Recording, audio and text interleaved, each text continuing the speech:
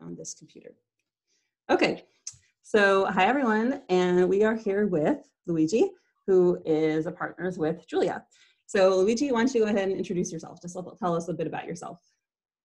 Hello guys. Um, well, as mentioned before, my name is Luigi. I am a, a pretty big fan of Midnight Poppyland, I would say. Uh, Julia got me into it around like uh, around the pand- the start of the pandemic as well.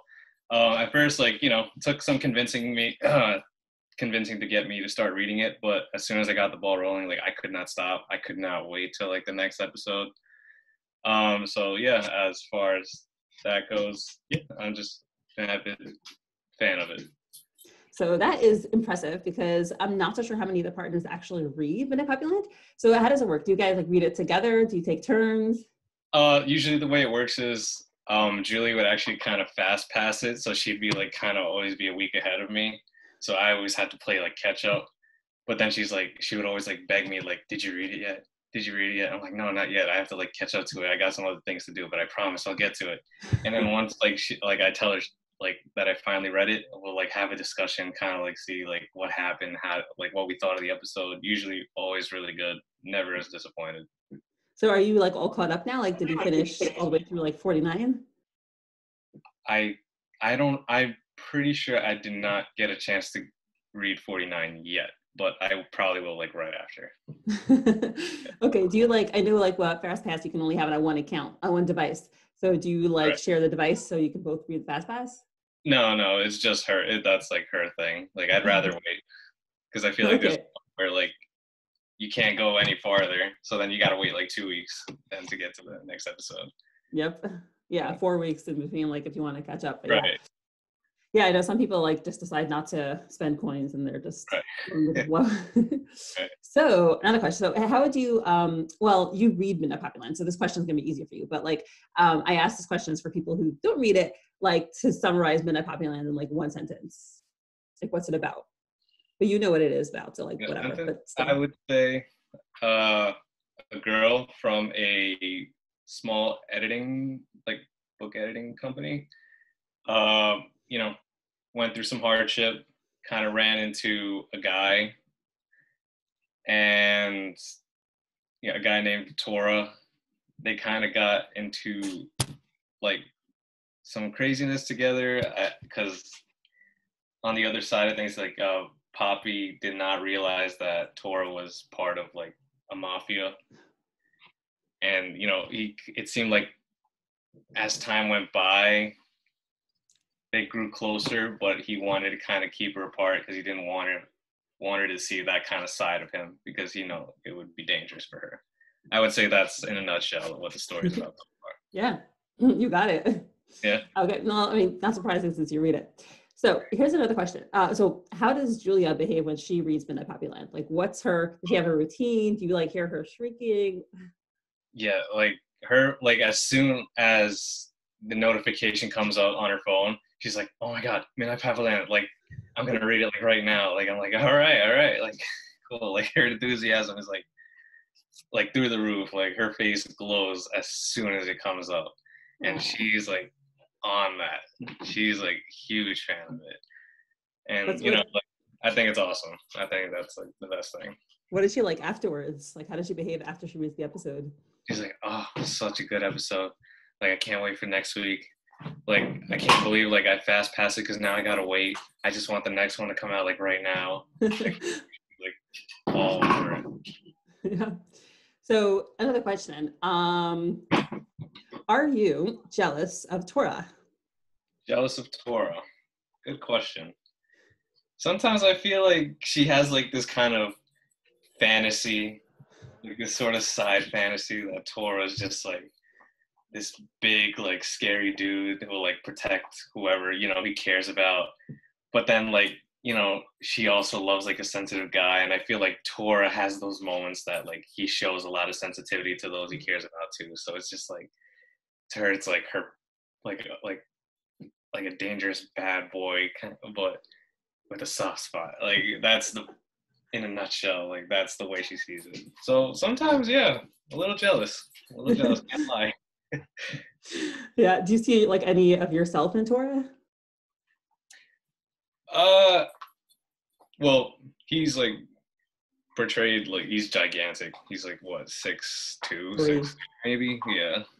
So I'm not that. So so there's that.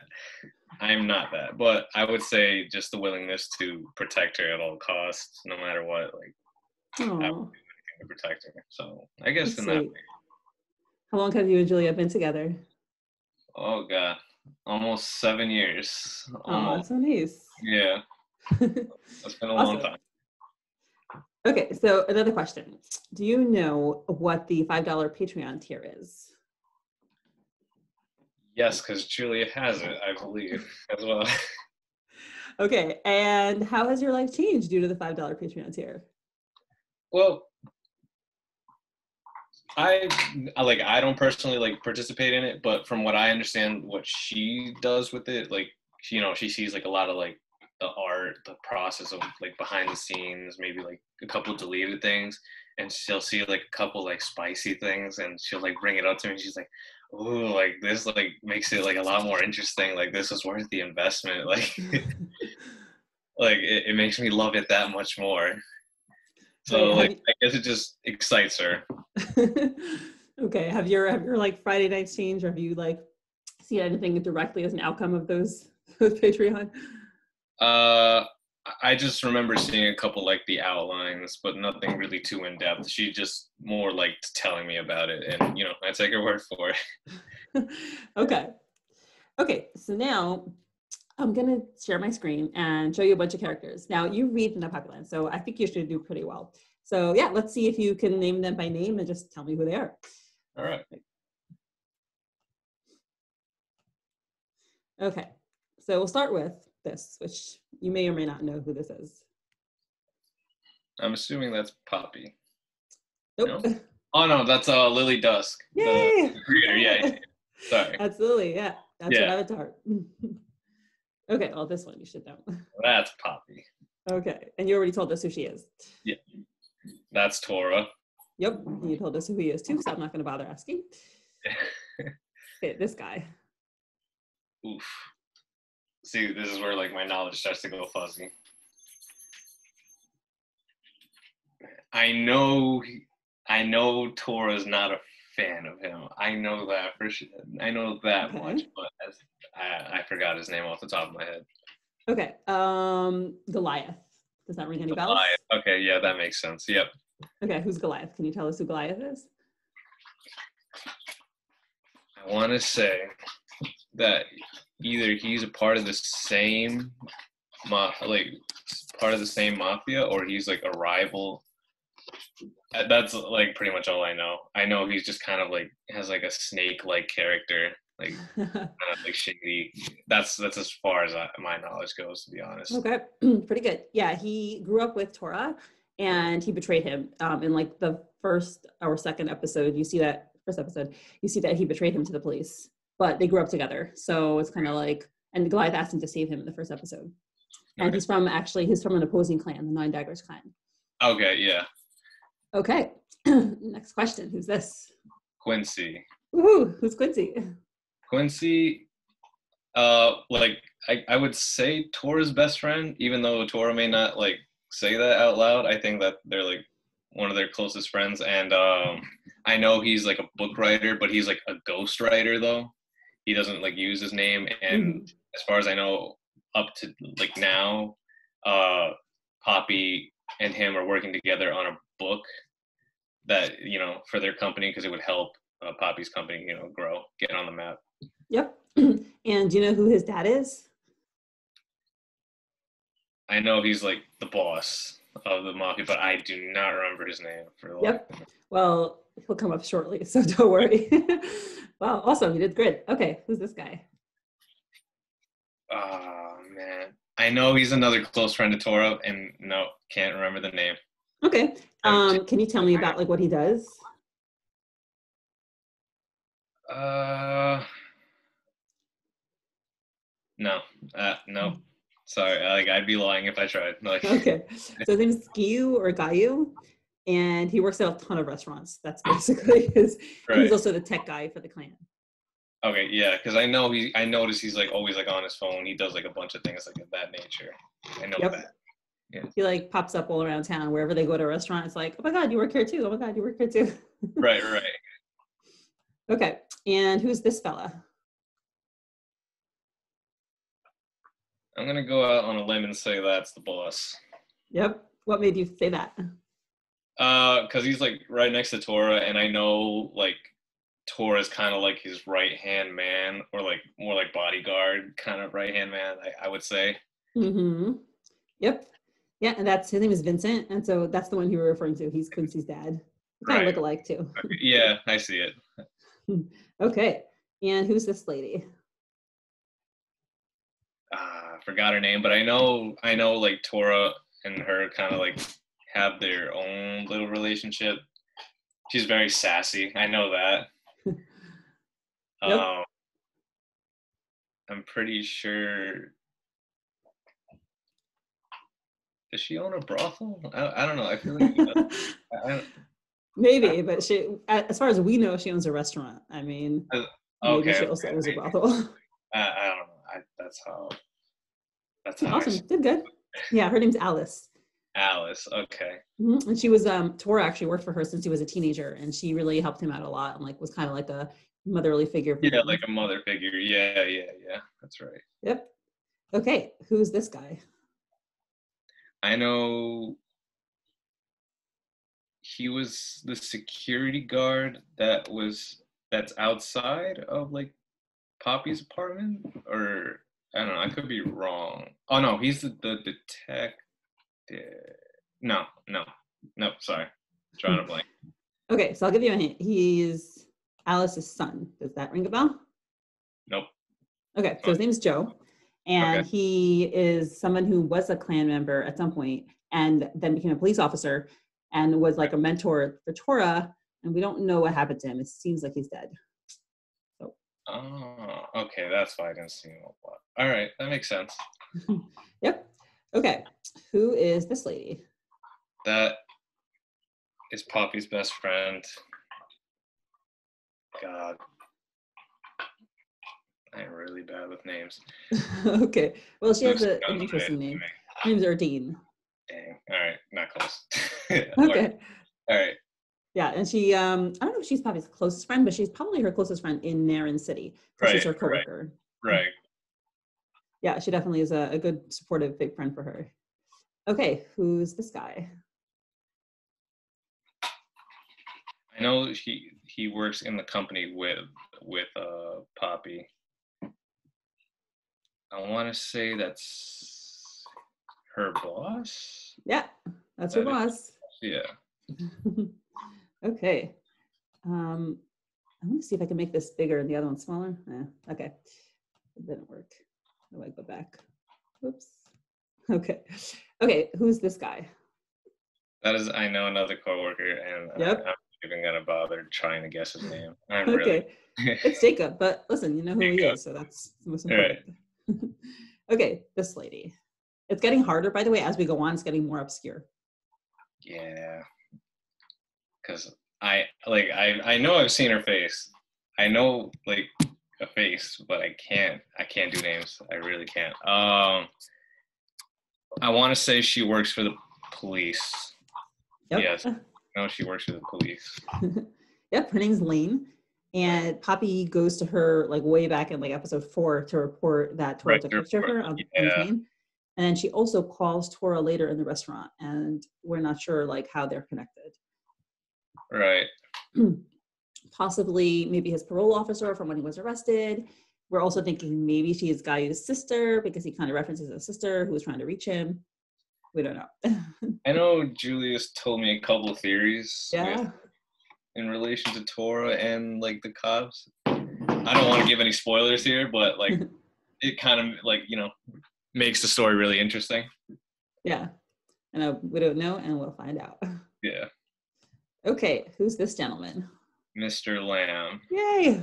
Yes, and I know he's like a wealthy man, I guess. Um, and as far as I know, Poppy was is trying to like kind of get him on board to invest in their company, or Mhm. to to publish a book with them. Like I, am not like a hundred percent sure, but I know he wants.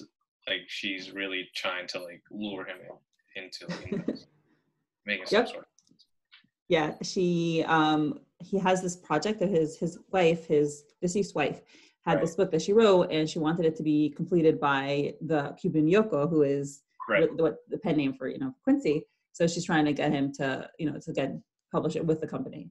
Right. Okay. Yep. Okay. Who's this lady?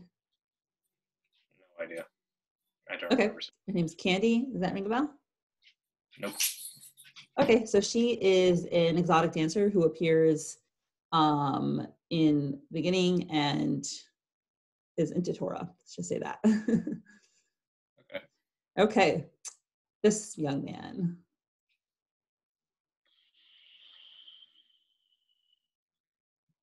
I don't remember, but I, if I'm not mistaken, he, I believe he was like hurt, and Poppy kind of had to like pull him out of there and try to get him to safety.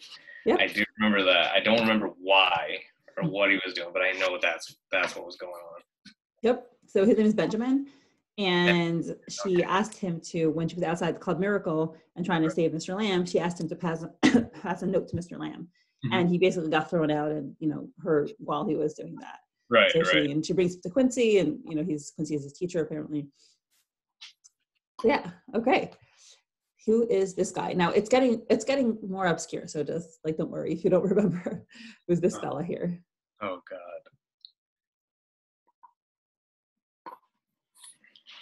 His face doesn't ring a bell. No. Okay, so his name is Claude. Claude. Um, okay. he's one.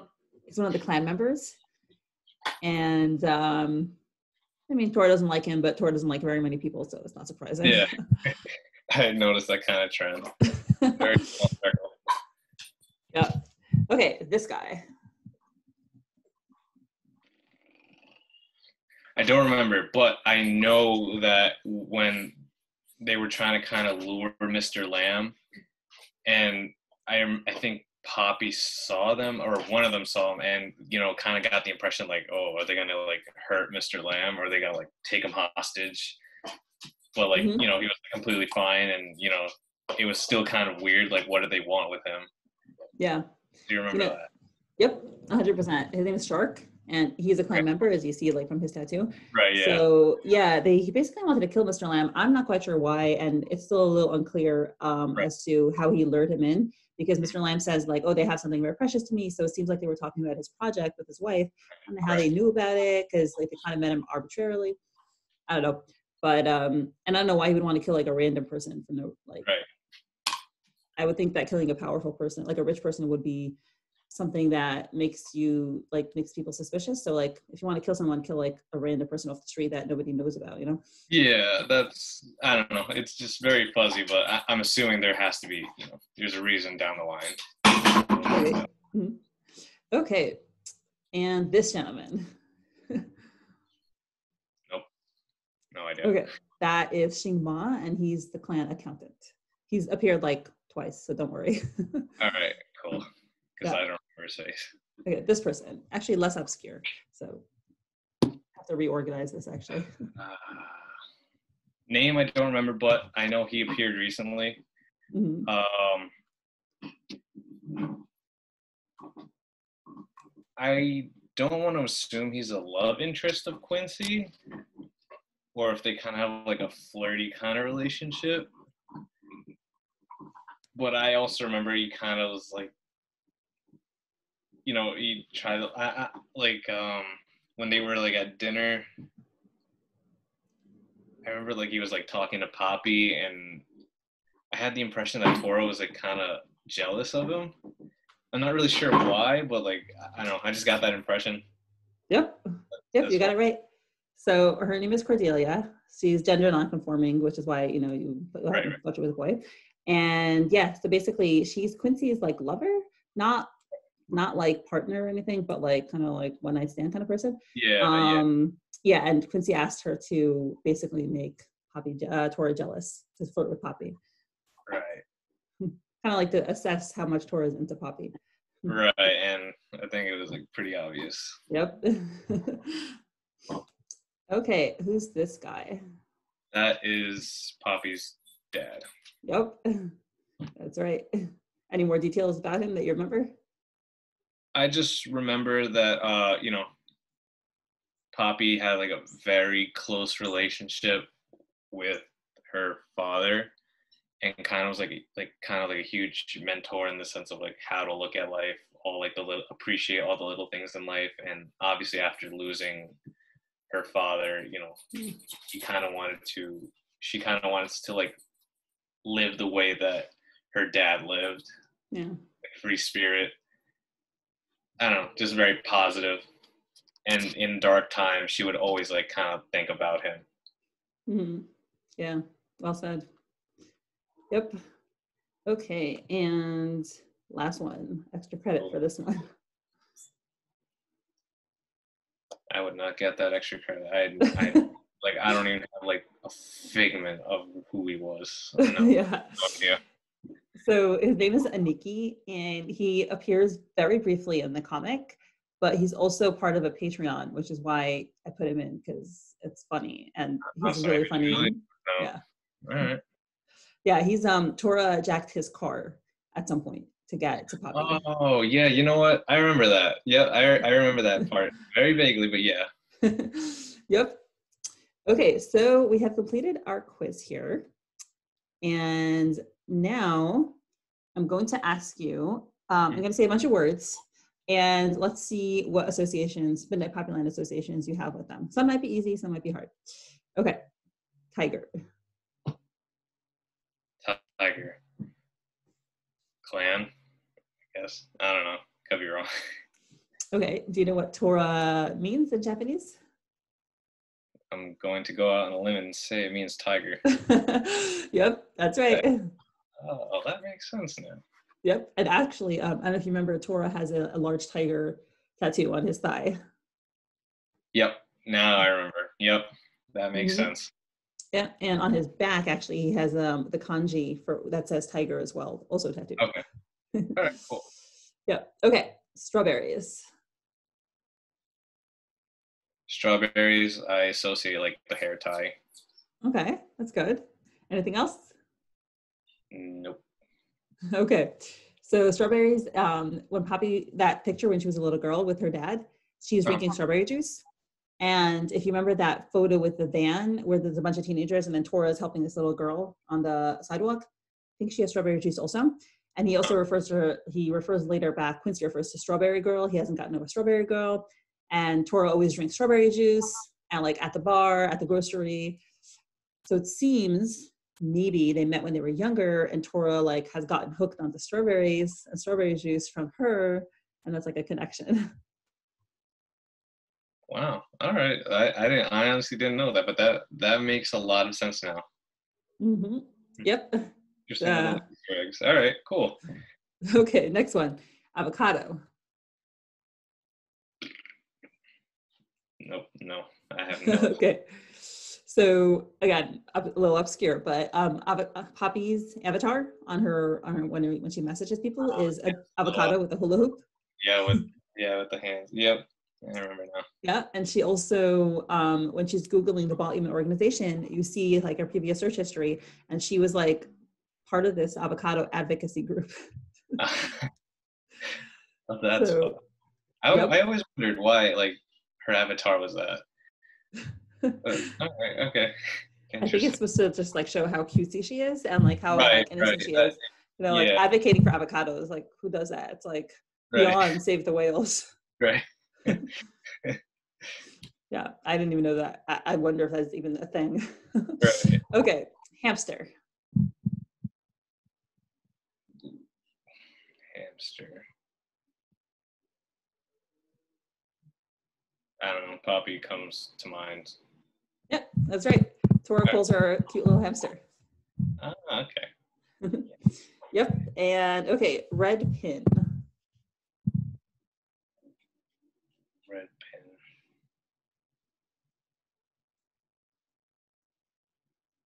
I don't know. Okay, uh, so Poppy wears a red pin when she goes to Club Miracle to rescue Mr. Lamb, and she accidentally leaves it at Quincy's house, and it seems as though Benjamin has stolen it.